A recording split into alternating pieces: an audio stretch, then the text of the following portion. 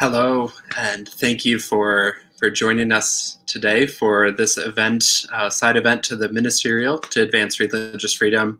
Uh, it's a privilege to have you here. Uh, my name is Jeremy Barker, and I serve as the Middle East Action Team Director for the Religious Freedom Institute. Uh, for those who, who don't know about RFI, our mission in is uh, to advance religious freedom for everyone, everywhere, and we do that through a number of initiatives, um, geographically focused in areas uh, such as the Middle East, North Africa, and South and Southeast Asia, um, as well as in strategic uh, topical areas like um, education and international religious freedom policy, um, and the intersection of Islam and religious freedom.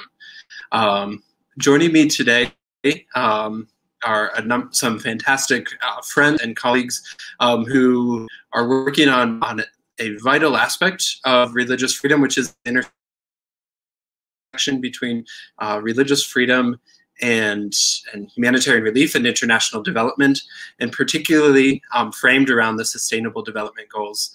Um, so I look forward to, to getting to introduce them to you in just a moment.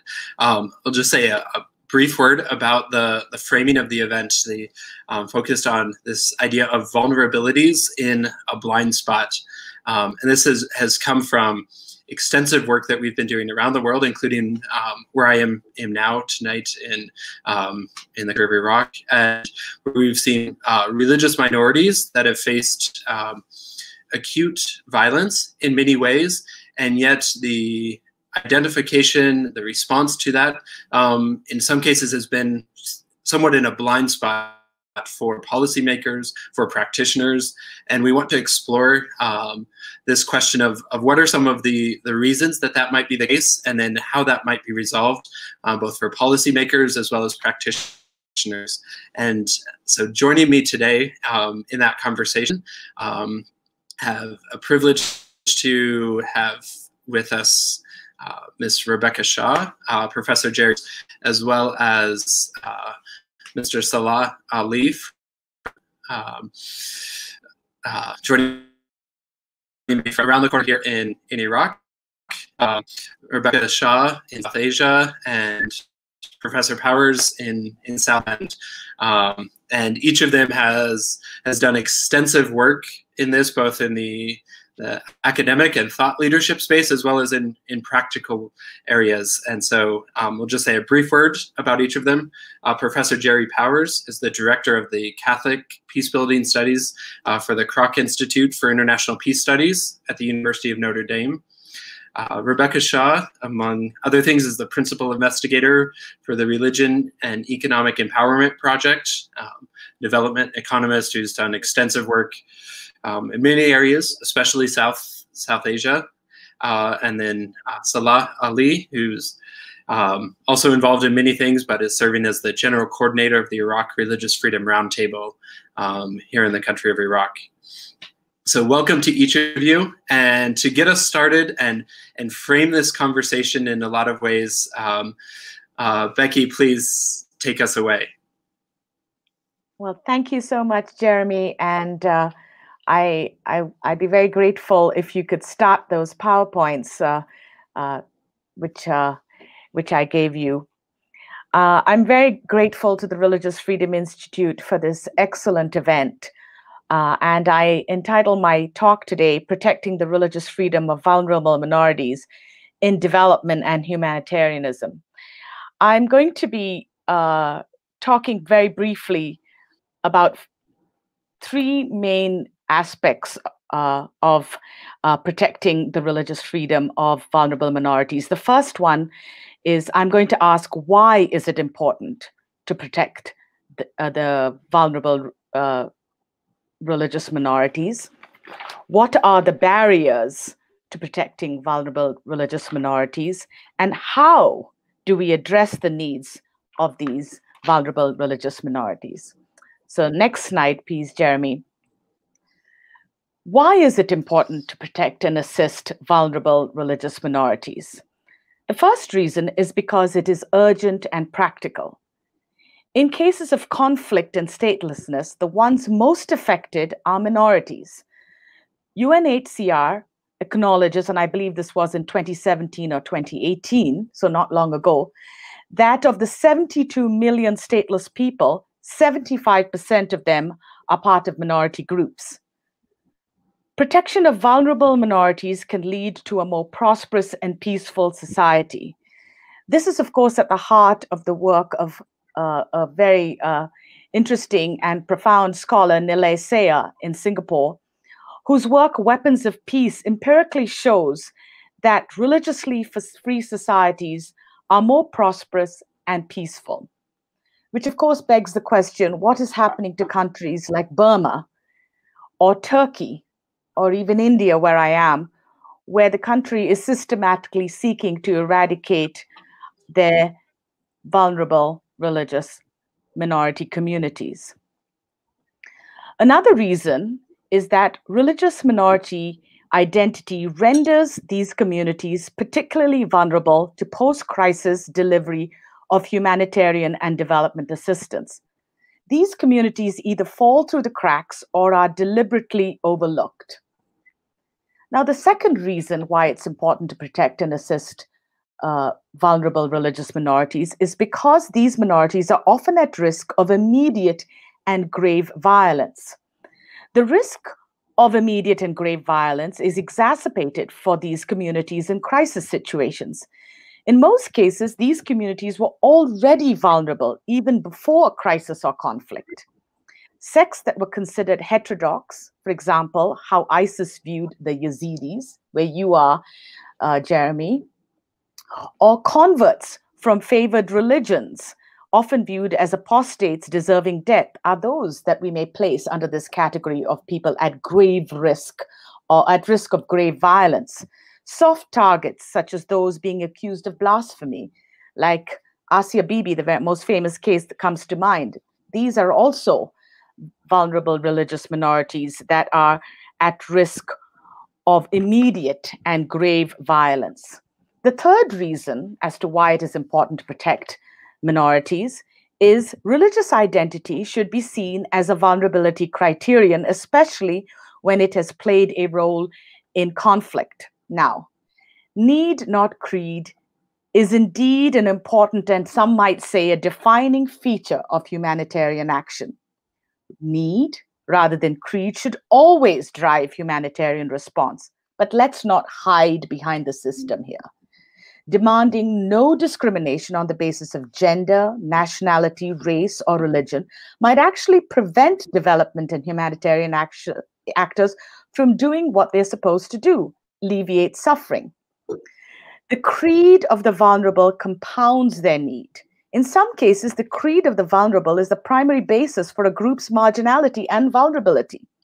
To ignore, overlook, or neglect the religious identity of groups here may prevent us from addressing the particular and unique needs of these vulnerable groups and leave them behind. Fourthly, it is important to protect and assist vulnerable religious minorities because doing so can meet core developmental goals. Marginalized communities are often among the poorest in society. There are significant correlations between social, religious marginalization, and economic inequities. The world's poor are not randomly distributed across the globe. Poverty is determined by numerous intersecting forms of discrimination and exclusion, including and particularly religiously motivated exclusion and discrimination. For example, Hindus in Bangladesh, Dalit Christians in Punjab and Pakistan, uh, in Pakistan, Christian Chin communities in Myanmar, Muslim Rohingya in Myanmar as well, Dalit Muslims in India. In a project that I run, next slide, please, Jeremy, which is the Religion and Economic Empowerment Project, we find that protecting the deeply held, personally appropriated religious beliefs and practices of individuals, as well as protecting the freedom of individuals to switch religious traditions, regardless of direction, can yield quantifiable pro developmental and pro social outcomes. Next, uh, I guess Jeremy's gone. Um, the next slide, uh, please, Cecilia. If oh, the next slide, please, Jeremy. The slide with the data. It's okay, I can talk through it. With respect to SDGs, we find that protection of religious freedom is systematically related to various key dimensions of development. This is a large study that was done with thousands of people and it continues. It's being funded by the Templeton Religion Trust here in South Asia. And we find that protecting deeply held religious beliefs, as well as protecting the freedom of individuals to switch religious traditions, regardless of direction, empowers and equips people, particularly the poor, to build resilience and reduce exposure to economic and social shocks. That is SDG goal 1.5. Reducing inequality and promoting enterprise by identifying low interest loans for businesses. Uh, these people whose we have we, we see a strong association between protecting the religious freedom, protecting the religious freedom of these individuals and their ability to uh, know the interest rate, own a business, uh, smoke less, use less violence to control their wife. These are all pro-social and pro-familial, pro-developmental outcomes. The next slide, please, Jeremy. We also find that ensure that if you protect the religious freedom of these religious minorities, you can ensure a peaceful and inclusive community, as you see here. People whose, whose religious freedom is protected are more likely to be open to moving next door to someone, having someone of a different religion move next door, or being open to the possibility that someone might want to switch a religion. So there, we, we find this in our study. So I'm going to move to the next question, which is what are the barriers to protecting vulnerable minorities? The next slide, please, Jeremy.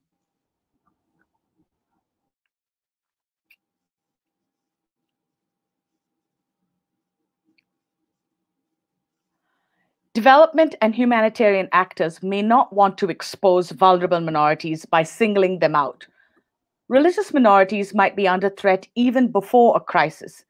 If there is a focus on these groups, it might exacerbate their vulnerable status and even trigger additional conflicts.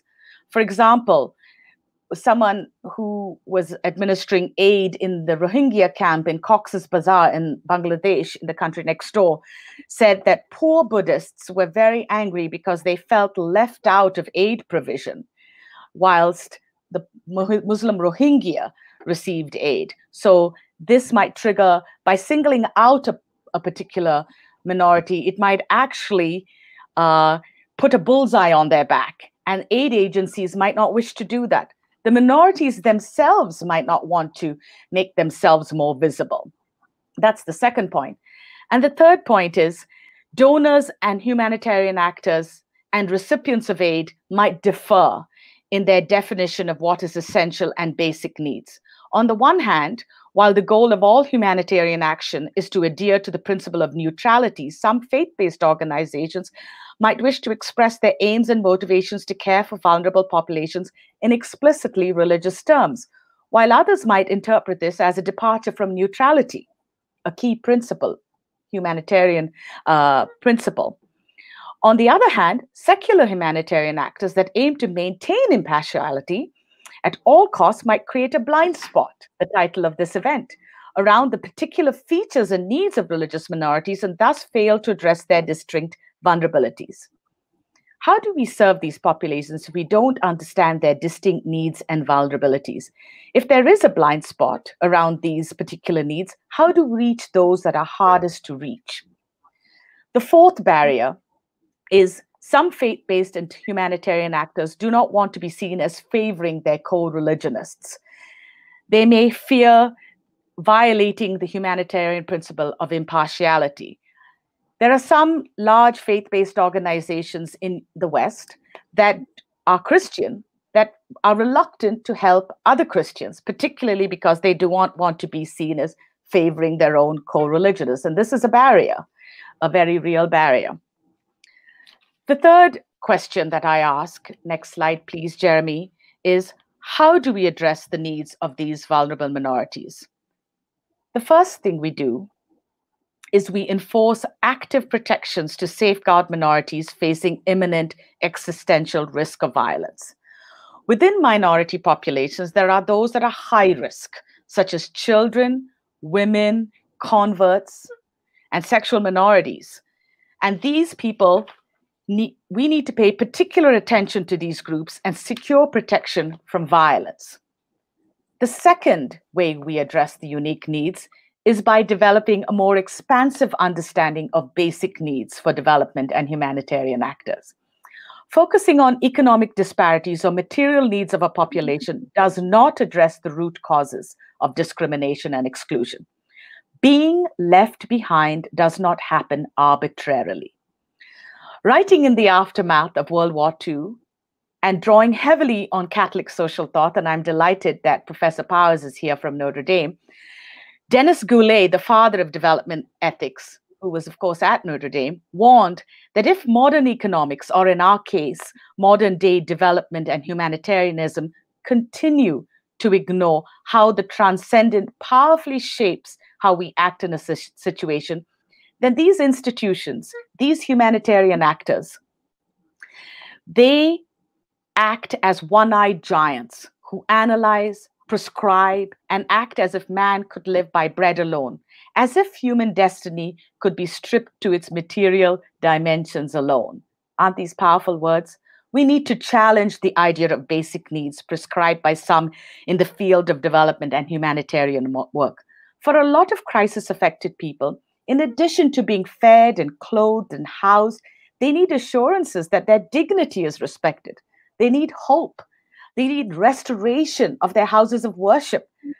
They need the comfort of their family relationships. In some cases, religious groups, faith based organizations, faith leaders may be able to do this better than aid workers, sectarian aid workers. The third way we address the unique needs is we step out of a Western mindset where religion is seen as part of the problem. Most Western donors, international NGOs, and sadly, some faith based NGOs regard religion as a problem. These organizations deal with religion reactively as opposed to integrating it proactively in the front end in a way that one conceives of religion in development and humanitarianism in the first place. Finally, we develop secure and sensitive means to collect disaggregated data. What gets measured gets done. In terms of SDGs, one of the most striking examples is that of Target 10.2. I will read it.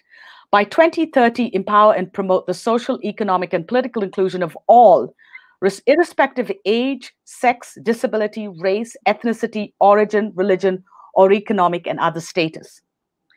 The associated indicator for this target reads, and I quote, proportion of people living below 50% of median income by age, sex, and persons with disabilities. What happened to the other descriptors? Rate, race, ethnicity, and religion, or economic and other status was dropped. Now, is this an oversight or an accident? The reason for the exclusion is that there is tremendous power in the data. For example, if a group is categorized as a minority, it puts pressure on the host state to care for this group. Are there risks in collecting disaggregated for already vulnerable and at risk groups? Yes, there certainly are. And I'm not playing down those risks. But most religious people, most vulnerable religious minorities, often refer to themselves by virtue of their dress or other distinguishing characteristics as a religious community development and humanitarian actors might be able to provide protection to these groups and collect data at a community level in ways that protect their confidentiality and security. I know I've raced through this and I'm happy to unpack this during question time, but these are the three questions that we uh, have dealt with, and you can read more about this in not only in the work that I do, but in the guidance note that was written, which Jeremy, I'm sure, will will go into, which we did for uh, as part of uh, the Religious Freedom Institute, but also which was commissioned by the Foreign and Commonwealth Development Development Office uh, in 2020. Thank you, Jeremy. Oh, th thank you, Becky. And you raised but covered a lot of important ground that I think um, raised some some very useful questions that are at the heart of the conversation today. Um, as we turn to um, to Professor Powers, uh, one of the questions you um, you touched on right there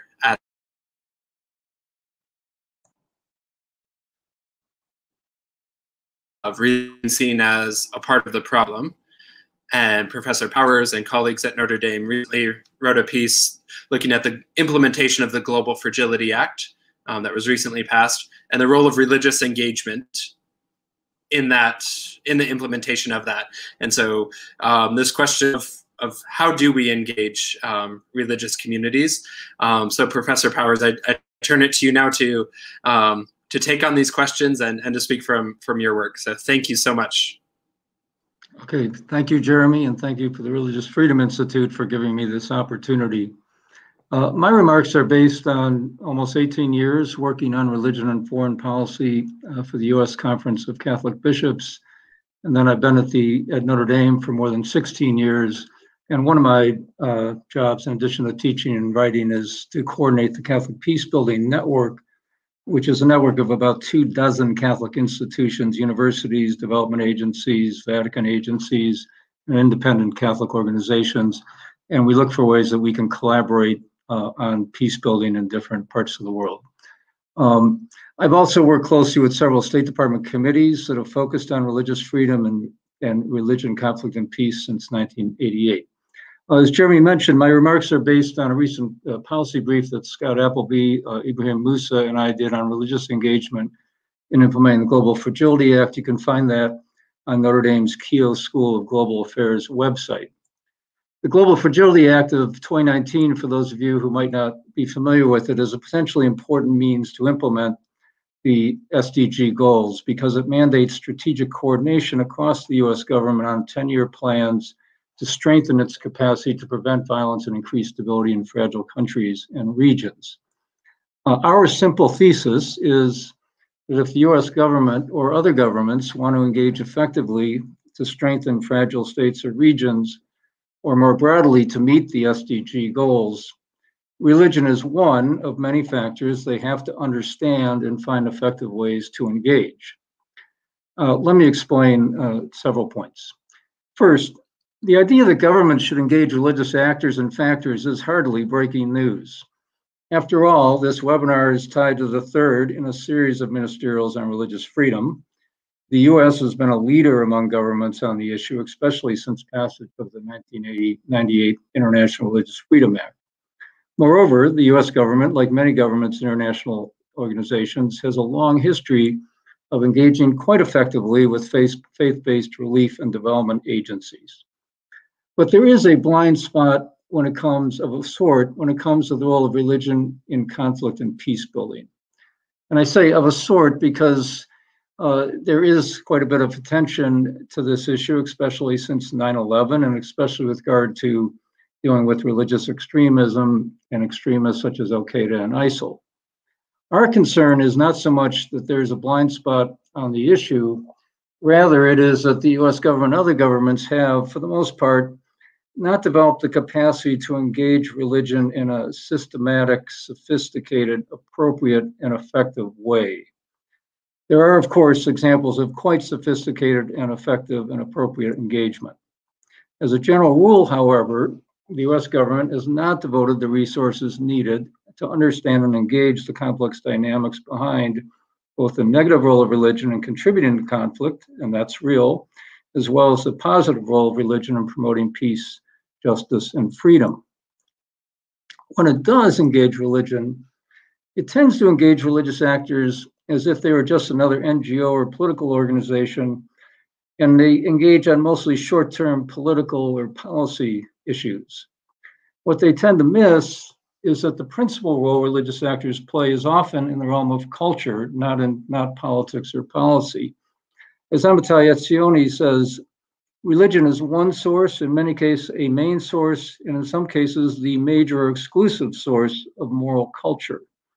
And religion can play an indispensable role in shaping a culture of peace and reconciliation that is so lacking in fragile, conflict torn countries that suffer from a culture of violence.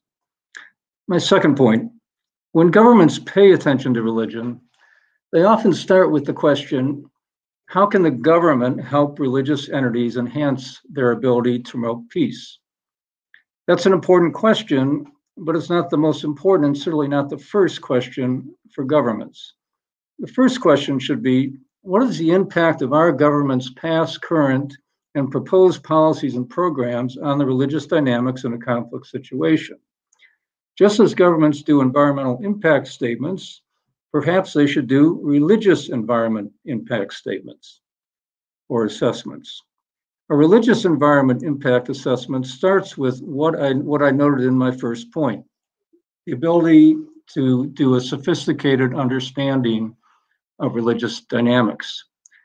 Guided by the principle do no harm, it then assesses how the governments can ensure that its policies and programs are not contributing to the very religious extremism that the government purports to be opposed to.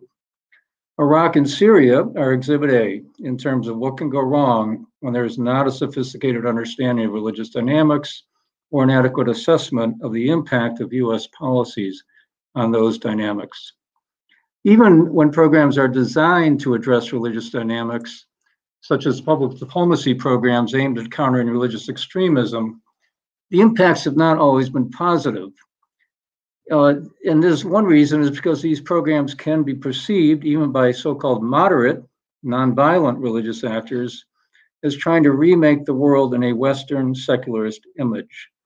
That only feeds the narrative of the religious extremists who claim to be protecting religious and cultural traditions from assault by the West. Third, how governments engage religious actors is critical. Too often, the goal has been to find religious partners or allies to advance US policy goals. The goal should not be to partner with religious allies, but to engage all religious actors in a way that contributes to peace and stability in the particular country or region. The government will not achieve its policy objectives or live up to its ideals if it unwittingly or wittingly uses religion as a tool of US foreign policy. It is critically important not to instrumentalize religion. Too often, US officials have placed unrealistic expectations on the capacity of religious leaders to deliver short term political outcomes during a crisis. Especially in conflicts with the religious dimension, the government has sometimes helped convene religious leaders to support peace initiatives. Now, while the intention might be laudable, these efforts can be perceived as interference in the internal dynamics of religious actors and their interfaith relationships, and they might undermine the independence and credibility of the very religious actors who might have a role to play in promoting peace and reconciliation during that crisis. Governments can play a supporting role, but the main initiative has to come from the religious actors themselves, not the government. And those religious actors must draw on their own resources in their distinct ways and in their own timeframes if they are be, to be successful peace builders. Fourth and finally, a basic, basic question in engaging religious actors is whether to do so on an interreligious basis or an intra religious basis.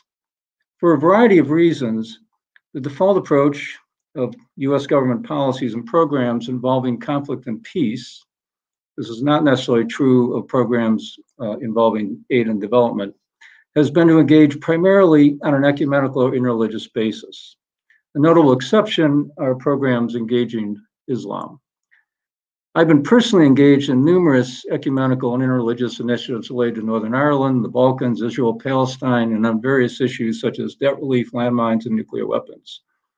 Interreligious peace building is critically important, but it offers, often suffers from a paradox. The more religion is central to a conflict, the greater the need for interreligious peace building. The less religion is central to the conflict, the greater the likelihood that interreligious peace building will actually bear fruit. The more religion is central to the conflict, the greater the need for interreligious peace building, the less religion is central to the conflict, the greater the likelihood that interreligious peace building will bear fruit. While it continues to engage on an interreligious basis, the government needs to be more open to intra-religious engagement. The peace-building power of religion does not come from religion in general, but from particular kinds of religion. That is, particular kinds of religious identities, spiritualities, beliefs, norms, and practices. In many conflict situations, the problem is not only, or even mostly, a lack of interreligious engagement. What often is needed, much more, are more Roman Catholic, more Baptist, more Sunni, more Shiite peace builders. Might, by drawing on their distinctive spiritual, moral, pastoral, and institutional resources, these peace builders can gauge and or discredit the extremists within their own communities as they seek to mobilize their own communities on behalf of peace, freedom, and justice. So to summarize, develop the capacity to understand and engage religious dynamics. Don't ask how governments can make religious actors better, but assess how government policies impact religious dynamics. Don't look to partner with religious allies, but engage all religious actors and work on both an interreligious and an intra-religious basis. Thank you.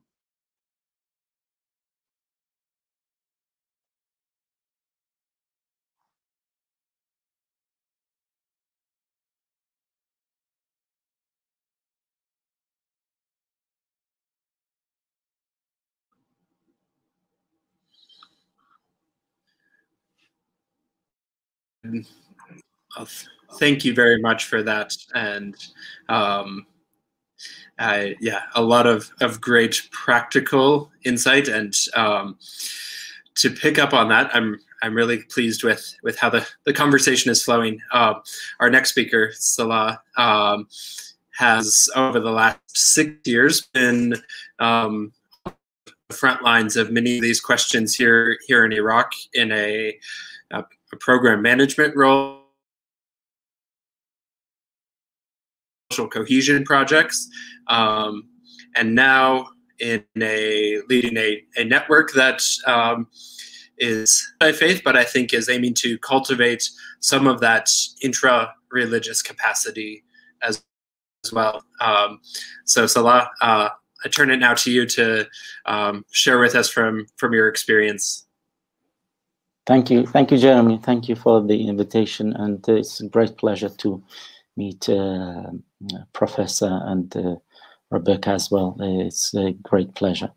Um, thank you. But uh, I mean, in terms of the network, we just established the Iraqi Religious Freedom Roundtable at the beginning of this year.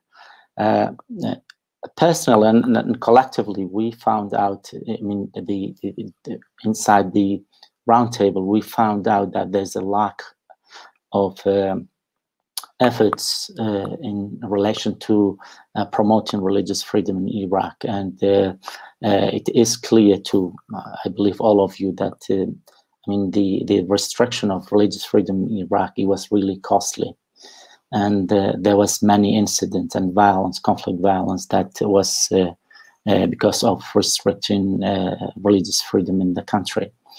And the, the roundtable that has just been established uh, at the beginning of this year and uh, uh, uh, have uh, uh different religious uh, leaders from different religious group, Christian, Baha'i, Yazidi, Shia, and Muslim, Shia, and Sunni, and other religions that we have in Iraq. and so basically, the, the, the, the main purpose of this roundtable is just to create a platform where people bring their expertise, uh, their knowledge, and their ideas in order to promote uh, religious freedom in Iraq. And uh, also, since then, we've been uh, working on expanding our network in Iraq uh, locally, nationally, and internationally as well, in order to bring as much as effort uh, from outside, lesson learned from other countries, uh, uh, in order to promote religious freedom in Iraq. But in general, as you know, Iraq has a unique society that includes many religious and ethnic groups. I mean, unfortunately, this diverse aspect of the country, like if I may say, like its natural resources such as oil, never been managed uh, uh, properly by the government. And there's clear evidence that the government was the one most of the time being pointed at as the as the violator and the violating religious and ethnic minorities' rights.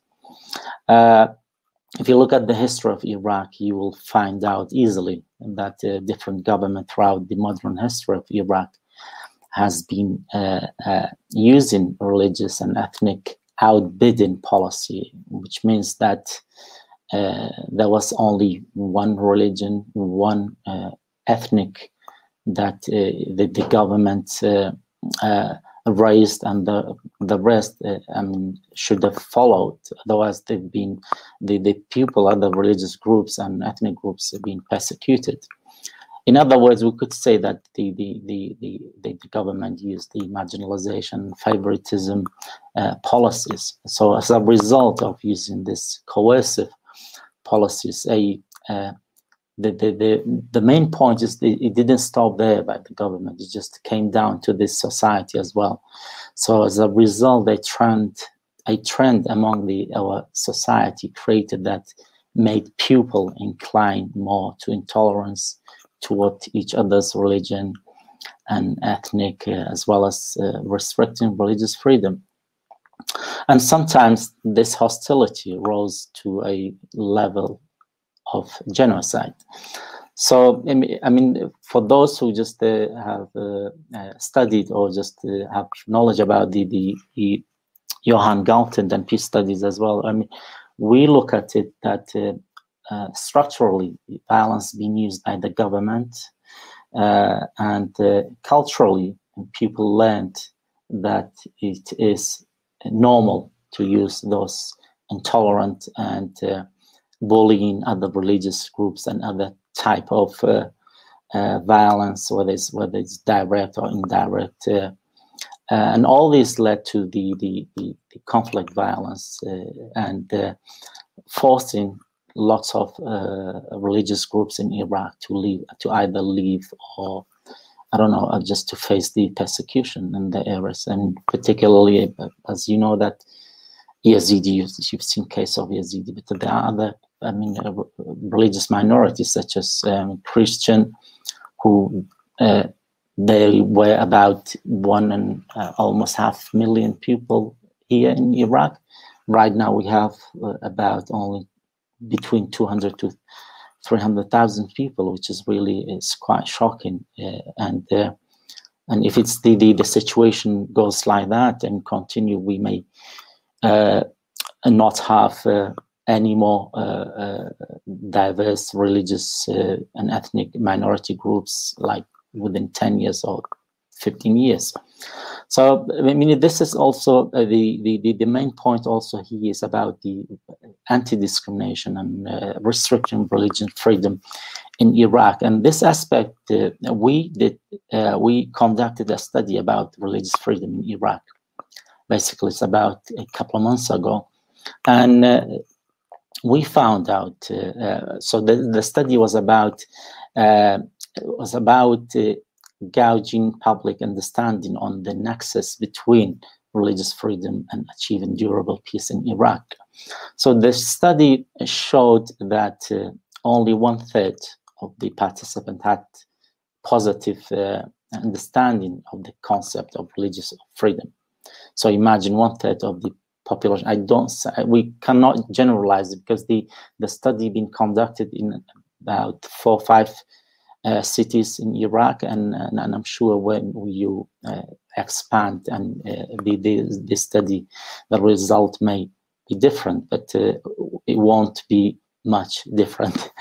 Uh, uh, this is one thing, and the the the rest, one third, as I said, had. Uh, didn't understand it or just had positive understanding oh, sorry had only positive understanding uh, of the concept of reason. But the the, the rest had uh, which is two-thirds of the the the, the sample uh, the, the group had uh, I mean held negative views uh, towards religious freedom. And um, in fact half of this the two-thirds thought that it was had a strict view against the term itself, with some association, with some of them associating it with uh, practice such as targeting Muslim to illegitimately entice or coerce uh, uh, others to leave their religion. So this misunderstanding of religious freedom and like and other uh, other principles and concepts such as human rights, gender, and uh, democracy, and I think we're still in the, I would say, the first stage of understanding this concept and the, and the, the the interesting point that the majority of them found out that there's not any connection between religious freedom and peace building and other uh, uh, like uh, or would support uh, issues such as justice, equality, uh, and an inclusive so society. So these are really quite shocking news about Iraq, but uh, uh, this is, uh, I say at this point, but having said that, just we have also a great example in Iraq. and some areas in Iraq made a great progress in terms of promoting religious freedom, such as the, the areas such as Iraqi Kurdistan region had a great uh, uh, deal of uh, um, religious freedom in the country, in the in the, uh, the in the region. Uh, particularly in 2015, they have. I mean, there's a law about protecting the rights of component in the region, uh, law number five, uh, and this been uh, institutionalized by the religious, by Minister of Endowment and Religious Freedom. So right now they have each uh, component, religious, ethnic minority has a, a, a, representative at the ministry, and they have a great uh, level of coordination. So I think if we could uh, set uh, this uh, as an example, and we could encourage the government, the central government, to follow this example. And thank you very much, Jeremy. I think my time is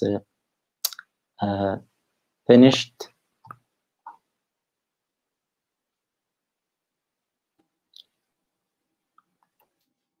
Well, thanks a lot, and you'll get a second a second round um,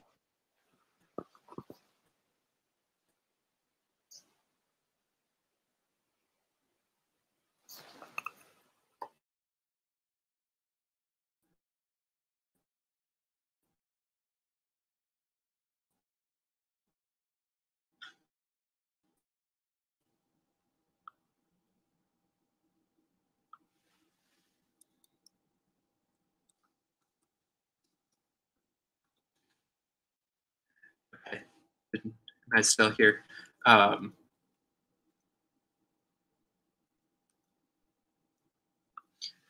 okay, sorry, the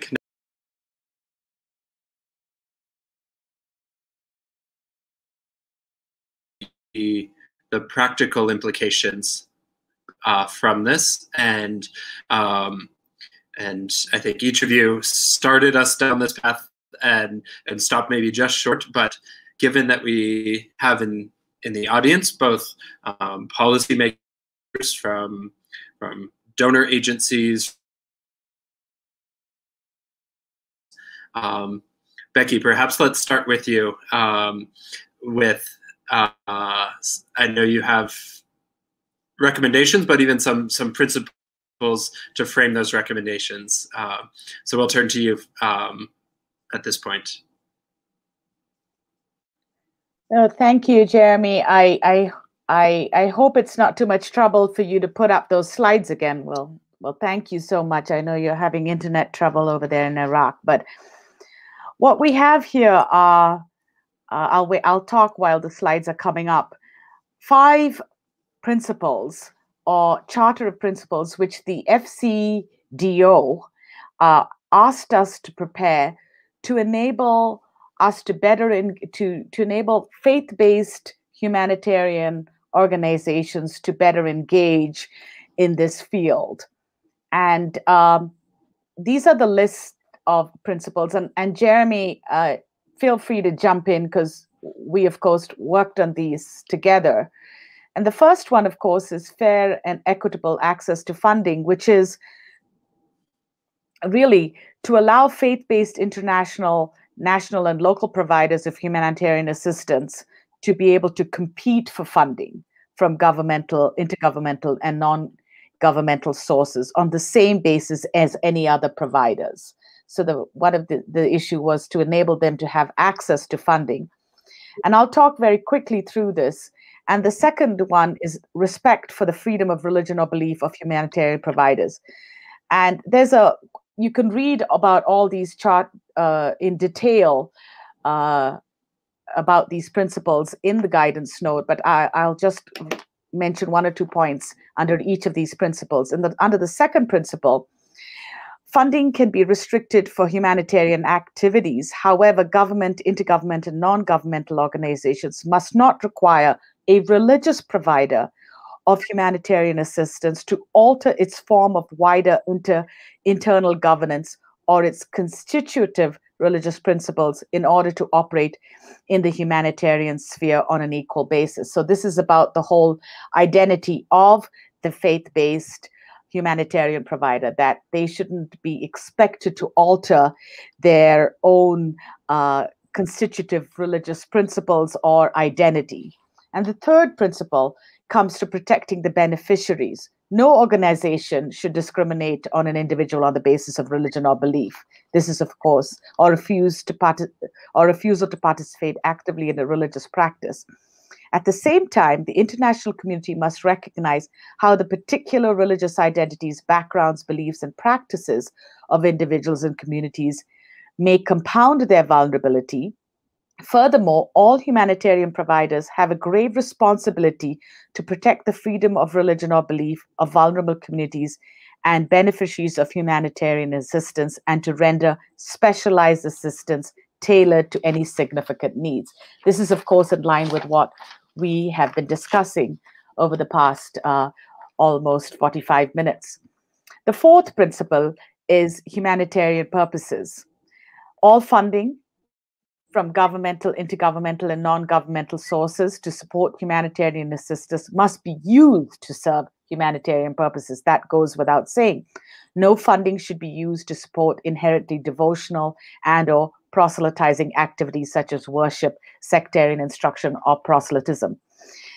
Finally, adhering to appropriate financial and reporting standards. And this is a very important one because while faith based organizations must be able to comply with reasonable financial management and reporting standards. Donors should not impose excessive and unnecessary bureaucratic barriers that exclude them from access to governmental funding.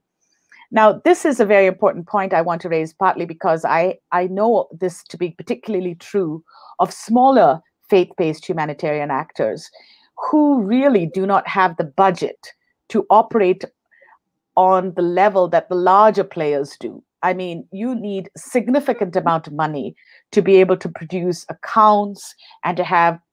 Not that I'm saying produ- that they shouldn't produce accounts. What it is is the type of reporting that the heavy bureaucratic hurdles that some of these local faith groups have to jump through in order to access funding is quite prohibitive. So, what we are suggesting, or at least the Sprintable is suggesting, is that maybe they should be not they shouldn't be that excessive and one must understand that these smaller uh, organizations have got constraints in that respect. So these are the principles. These were developed and i guess this is a springboard for discussion uh, as well. So thanks jeremy.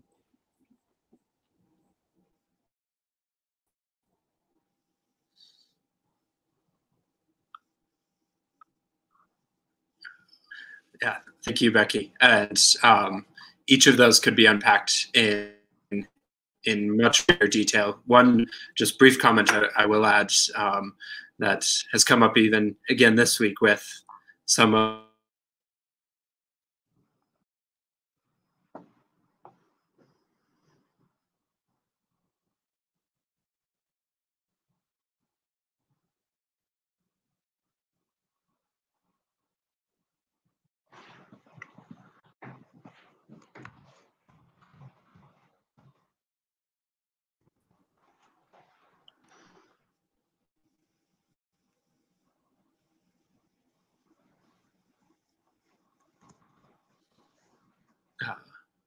uh, Professor Powers, um, to you for for a few recommendations on from from your comments.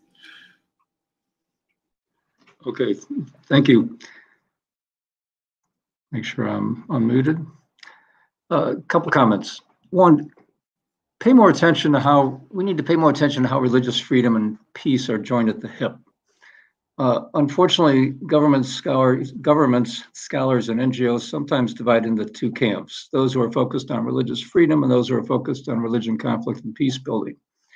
Now, clearly, religious freedom is a precondition for religious entities like Catholic Relief Services, which, which I work closely with, to continue to play a leading role in achieving the SDG goals through their relief development, healthcare, and education programs. Um, religious freedom, though, is especially uh, important for the ability of religious entities to promote human rights, peace, and reconciliation. And that includes the religious freedom to play a role in public life, uh, to take a, a, public role, not a not a political role, hopefully, but a public role. And governments and NGOs have to be careful not to promote a Western secularist model that sometimes marginalizes or privatizes religion and makes the public square a religious religion-free zone. Um, but religious freedom doesn't automatically contribute to religious peace building. Religious freedom is necessary but not sufficient. Religious freedom can be misused in ways that contribute to conflict and injustice rather than to peace and reconciliation. Therefore, the work of religious entities, governments, NGOs is not done once religious freedom is guaranteed. And I think more attention, so I think more attention should be paid to the ways religious freedom and religious peace building interact. Secondly, some of the most interesting and creative religious peace building is done by faith based development agencies or local social service organizations. These organizations have developed creative standalone peace building programs, but they recognize that their greatest impact often can come when they integrate peace building into their bread and butter programs of relief, development, healthcare, and education. So just as the buzzword in academia is interdisciplinary and the Global Fragility Act seeks to take a whole of government approach, development agencies recognize the need for integration. And we see this in the way USAID, UN, UNDP, and faith-based organizations have incorporated conflict sensitivity into their programs. A conflict sensitive approach allows them to design programs in ways that help bridge the communal divides and help change dynamics that contribute to exclusion and scapegoating, erode social trust, and engender conflict. They're also gender sensitive, which is really important since women and girls are often most adversely impacted by communal conflicts, and they often play an outsized role in peace building that is sometimes uh, ignored or untapped. Third, the US government can institutionalize its capacity to understand and engage complex religious dynamics, um, especially with respect to conflict and peace, uh, in several ways. Um, you know, there is at least some expertise on religion and conflict in various parts of the Department of State, USAID, the Central Intelligence Agency, and elsewhere, but it's piecemeal and limited. Uh, just as every bureau and embassy is expected to have expertise on politics, economics, culture, and security issues, they should be expected to have expertise in religious dynamics related to the particular country, region, or issue that they're working on. And that requires targeted hiring of specialists in religion, training programs that go beyond the, the good but limited current programs that focus on training in religious freedom, and career paths for those who specialize in religion and religious dynamics. Finally, let me end on a, with a couple positive examples of government engagement with religion. Um, in Colombia, the Department of State's Bureau of Conflict and Stabilization Operations has supported the Barometer Project, which is the official entity tasked with monitoring implementation of the 2016 Peace Accord. And because the Catholic Church's broad credibility in Colombian society and its ubiquitous role in virtually all aspects of the peace process, that barometer project is hosted by Caritas Colombia, an agency of the Colombian Bishops Conference, and the Kroc Institute, where I work, is it runs the program. Um, that's an example of uh, support for an intra. Uh, it's a it's it's an official it's, it's not an intro, it's not a Catholic bishops project, but the Catholic bishops host the project um, because of their particular role. Um, with the support of USAID, the Central African Interfaith Peacebuilding Partnership work with communities devastated by intercommunal violence in the Central African Republic. And through a program called Ida na Ida, or People to People, trauma healing workshops in the Lobaye prefecture help children and adults heal and promote social cohesion within and between the sharply divided Christian and Muslim communities. And in 20, 2005 and 2011, USAID supported a much more extensive people to people peace process in South Sudan, which was led by faith based organizations working with the Sudan Council of Churches. I could mention some other examples, but, but those are a couple I think that uh, reflect the kind of positive, sophisticated engagement with religious actors that I'm uh, suggesting we need more of. Thank you.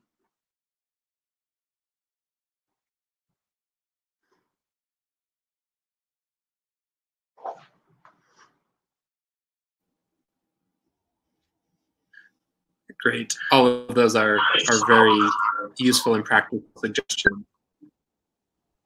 Uh, let's turn now to Salah. Thank you, Jeremy. Well, uh, basically, I just I didn't want to generalize the situation in Iraq, and it's really wrong, both in academic and uh, in uh, like practical or just implementing project. It's really difficult to generalize because right now Iraq we have in Iraq we have three um, regions, and uh, each region has own like different uh, areas with own specification and uh, so I think in terms of uh, uh, when I when just because my topic was mainly more was about the religious freedom. I think uh, that the point is that uh, in order to enhance the aspect of religious freedom in Iraq, I believe we need a holistic approach rather than just uh, focusing on one point. Um, so for that reason, I think uh, the the you know that uh, uh, religion uh, just occupy a significant space in our in people life, mainly in the Middle East, and I believe maybe more in Iraq. Uh, um, so I think it's important to, uh, and uh, this has been mentioned by many people, to involve religious leaders in promoting religious fr religious freedom itself. But the point is that uh, sometimes religious leaders themselves became a hurdle, a hurdle of uh, promoting religious freedom in Iraq. So I think in, when we come to building capacity, like we have lots of organizational works on the, I think we have to pay extra attention to uh, uh, building uh, and educating those religious leaders in order to become a, a key player in the future uh, uh, like I mean, even the peace building, as the professor mentioned. Uh, and the, the other points that in Iraq, the, the political and the, the militia also in the past, they used the religious institution as well as a as a method just to uh, meet their ends uh, and uh, to achieve more goals they desire. So I think both religious leaders and institution should be focused on more by the, the, the international organization and also local organization as well. So th this is one thing. The other one is the the in terms of the research, I think uh, research and studying and uh, promoting religious freedom in the education system, I think uh, we have a clearly we we lack of that aspect, and I think we should involve education in uh, promoting religious freedom. But um, the the point, as I just mentioned, religious freedom is as a term is, is new in Iraq, and uh, and uh, we need more work uh, on this uh, point. Also, the role of uh, local organization as well, like religious leaders and religious institution, we don't have very much expertise in this area. So I think it, will be great to focus on uh, that point as well. I believe USAID and the other international organization have uh, great programs on that, and uh, I believe in in in Iraqi case, I think we have to in intensify uh, uh, those efforts. Uh, so I think this is my. I believe there are lots of other points that helps our case in Iraq to promote religious freedom, but. I, I rest my case. Yeah, no, thank you very much, Jeremy.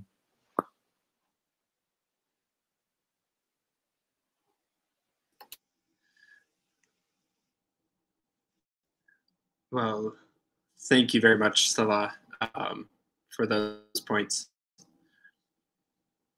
Um, we've had um, a few questions um, that have come in ahead of time. Many of those have been answered, um, but um, maybe one for for Rebecca that was submitted related to policymakers who may recognize uh, the value of a religious community ahead of time, but when they fa face persecution, are often prone to say it's not about religion, it's not about religious persecution. Um, and some of this may come to the question data. Um, and you mentioned some of this, but wanted to raise raise this question for you um, in particular to respond to, and then maybe the others as well. Well, well thank you, Jeremy. Well, uh, if I if I if I get this correct, the the the person wants to know. Uh, could you just repeat that question again, Jeremy? Yeah. Good. I, I lost you there. Would you would you be able to repeat the question again? Sure. Um, that they are often yes, will deny that there's a religious dimension to persecution or to violence against a community. They look for other explanatory factors um, and uh, avoid the, the, the role religion might play as a dynamic and how to respond to that. Well, thank you, Jeremy. Thank, thank you very much. Well, that, that of course, religion, as Professor Powers said, is is really often one factor in among many factors. In some cases, it is the driver. In some cases, it's it's uh, it's an associated factor. There are other factors. So, I'm not. I I don't think anyone will say that religion is a key factor in, in any crisis or the only factor. It's a it's one of many factors. However, I do want to say two. There are two points I'd like to make. One is what I said about the the this religion blind spot many people believe that religion is actually a problem. And uh, most INGOs, Western INGOs, and faith based INGOs, even in the West, actually regard religion as a problem. And as I said earlier, they they deal with it reactively. They say they they don't really integrate it at the beginning, at the very at the at the at the outset, at the front end of an issue. They want to deal with it. They they see they see religion as you know it's a problem it's something that isn't really the issue people are just making a big deal about it. And a lot of this has got to do also with data. Um, a few months ago i remember speaking to a, a very high ranking policymaker who said that when she was dealing with freedom or religion or belief she came from a development background and there was not good data on religious restrictions. And um, someone said that a particular conflict, and she was talking about the Baram Fulani conflict in northern Nigeria, that was a development issue. It wasn't a religious issue, it wasn't a freedom of religion or belief issue. And she said, Well, what was I to say? Because I didn't have the freedom of religion or belief or the religious freedom statistics to back me up. So, in some senses, it also leads back to my other point about there needing to be data, which is why we have a project which is a smart survey, which we started at the Religious Freedom Project and uh, at the Religious Freedom Institute, which collects, you know, disaggregated, granular data, real time, sort of simple, meaningful, uh, uh, adaptable, uh, uh, real time, uh, reliable, timely data that enables us to make these decisions and say you know is this this is a religion issue and have the data to back it up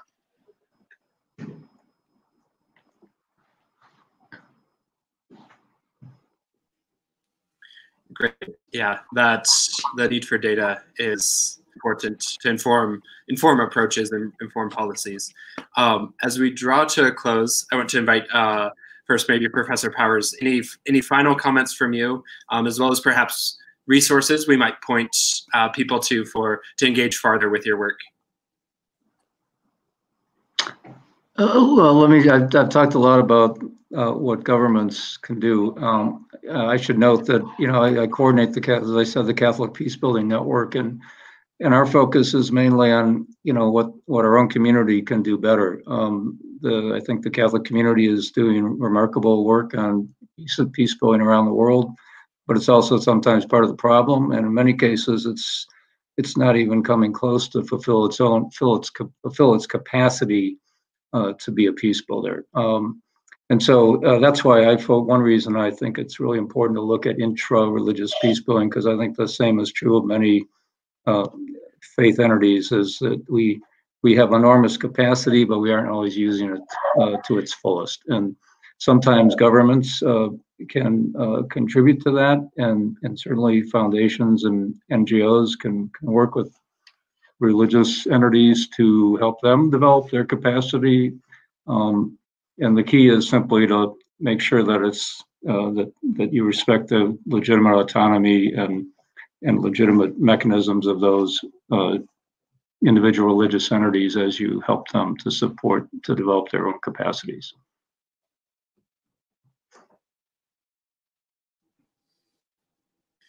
Great. Thank you very much and, and Salah, any final comments? Yes, uh, thank you. Just briefly, well, uh, as I mentioned earlier, I think the religious and faith community occupy a quite unique and specific roles uh, in our, uh, I mean, have uh, unique and specific roles and function in our society.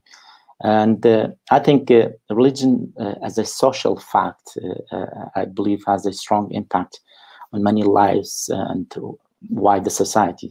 I think, therefore, uh, religions need to be taken seriously and could be both as a source of good and bad and dealt with accordingly. But unfortunately, in the countries that the rule of law is just really weak, and I think the the the bad stuff will will uh, crop up. Uh, uh, I mean, sooner than the the uh, good stuff. So I think uh, we have to be uh, as as it is. I mean, religions as a a, a potential opportunity for personal harmony, deeper meaning, social caring, and uh, and just values, other values. At the same time, uh, there are possibilities for misinterpret misinterpreting uh, religion text, and that may just uh, become a pitfall. You know, uh, as a professor uh, mentioned, in the pitfall in the process of peace building in Iraq uh, uh, right now, and in other countries as well.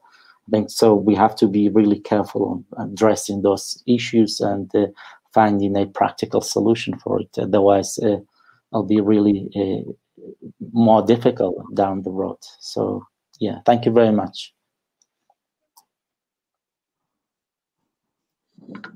Great. Well, thanks to each of you for, for joining me today. Um, and there's much more to discuss, which um, we'll come to in future conversations, I'm sure. Um, do follow us at rfi.org. Uh,